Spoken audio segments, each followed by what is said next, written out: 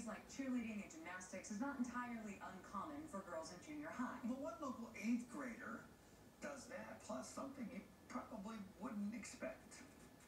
They're kind of like, oh, you do that? Like, I would never guess you. Coming up tomorrow night, right here on KAMR Local 4, you're going to meet 13-year-old competitive drag racer Natalie Watson. You're going to hear from her and her father, Ryan, on how exactly she got into a, very rare competitive sport for her age and the impact that it's had on their family. Uh, more than meets the eye. That is coming up tomorrow.